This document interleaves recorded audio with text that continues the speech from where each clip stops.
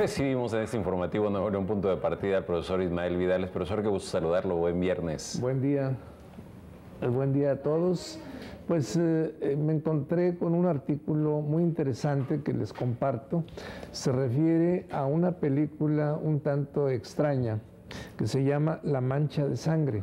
La Mancha de Sangre es una película mexicana que se filmó en 1937 y es la primera que muestra escenas explícitas de carácter erótico y sexual.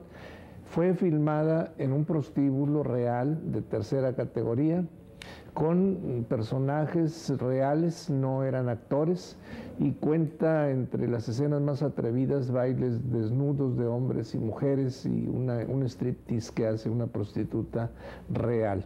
Pero ¿por qué es interesante esta película? Esta fue filmada, como dije, en 1937, fue prohibida por el general Lázaro Cárdenas, que era el presidente de la República, y en el siguiente sexenio de Manuel Ávila Camacho, muy mutilada, muy censurada la película, se exhibió por primera vez en 1943 en un cine que había sido antes un teatro de revista, Politeama, que estaba en José María Izazaga, cerca de San Juan de Letrán, allá en la capital de la República.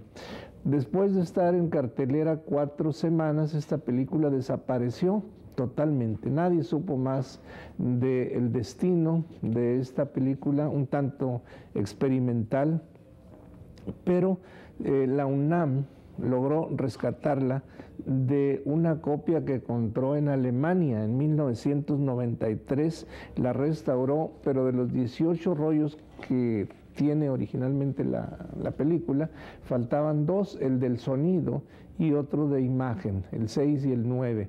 Entonces tuvieron que recurrir a expertos en lenguaje de señas para subtitular la película y así en el siguiente año, en 1994, la UNAM la exhibió y formó parte de su archivo, de su cineteca, en uno de los aniversarios de esta casa de estudios.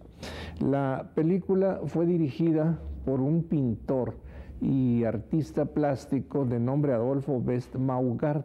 Es todo un personaje dentro de la cultura mexicana. No solo creó el método Best, que era un método de dibujo utilizado por los niños de todas las escuelas de México, fue secretario de Vasconcelos, eh, que inventó un, aparato de, cinematógrafo y fue un buen documentalista. De hecho, su obra anterior, que se llamaba Humanidad, es muy interesante porque relata la obra de beneficencia de las principales casas que operaban en, México en aquellos años. El argumento es sumamente sencillo, es eh, un prostíbulo en el que trabaja Camelia, llega un joven de provincia, se enamoran, eh, el cinturita que explotaba a Camelia le da una golpiza, el muchacho desaparece, aparece después convertido en un gángster que trabaja para una banda del príncipe, revela que van a hacer un asalto, ella pues lo impide con artes de mujer, y eh, el final este, pues es el que todos pensamos. Van a la cárcel los malos y ellos son, son felices. Pero la película es interesante por muchas razones, entre ellas las que ya conté. Ahí debuta Estela Inda. Estela Inda era una muchacha de Michoacán de nombre María de la Soledad García Corona, que después cobró gran fama en el cine nacional. Los demás fueron actores que esa fue su debut, beneficio y despedida, pero entre los extra aparece José Elías Moreno también.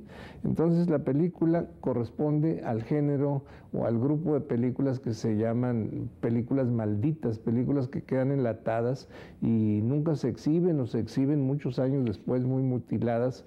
Me acuerdo, por ejemplo, Rojo Amanecer de, de Bonilla, estuvo mucho tiempo enlatada, también La Rosa Blanca de Roberto Gabaldón, eh, La Sombra del Caudillo de, Julio Bracho y Lázaro Cárdenas de Alejandro Galindo que sigue enlatada.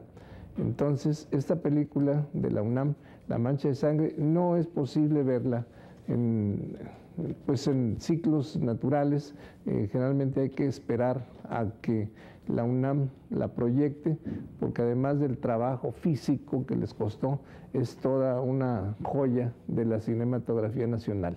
No es ni pornográfica, ni mucho menos, pero es una película que hace época por muchas razones. Es el comentario y creo que es un buen trabajo realizado por esta casa de estudios. Gracias, profesor Ismael Vidales. Ahora que menciona esto de el cinturita, era el viejo término que se le daba a lo que hoy se llaman... Eh, Gigoló, explotadores. sí, proxenetas o padrotes. O, bueno, ese era el, era, el término original de la película, no lo quise mencionar, pero, pero ese era. Igual que era Madrota la que manejaba los prostíbulos. Los prostíbulos, pero no sé de dónde eh, cinturita sería por. era la época de los pachucos. De los pachucos, sí. Exactamente, sí. Que la cinturita en los pachucos estaba como por acá, ¿no? Por casi en el Estaba debajo de las axilas. Abajo de las axilas, casi, casi. Así Gracias, profesor Gracias a ustedes y hasta el viernes próximo.